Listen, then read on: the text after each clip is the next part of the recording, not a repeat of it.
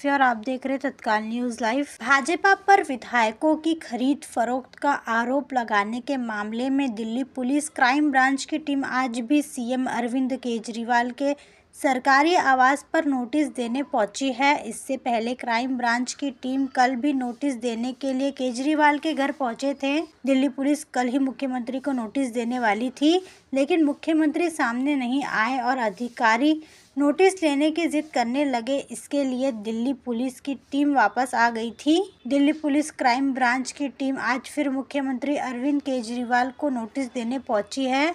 Delhi police अधिकारियों का कहना है कि नोटिस मुख्यमंत्री को ही दिया जाएगा। मुख्यमंत्री कार्यालय सूत्र के मुताबिक सीएम ऑफ़िस नोटिस लेने के लिए तैयार है, लेकिन क्राइम ब्रांच के अधिकारी सीएम ऑफ़िस को रिसीविंग नहीं दे रहे हैं। क्राइम ब्रांच की टीम केजरीवाल को ही नोटिस देने की बात कर रही है।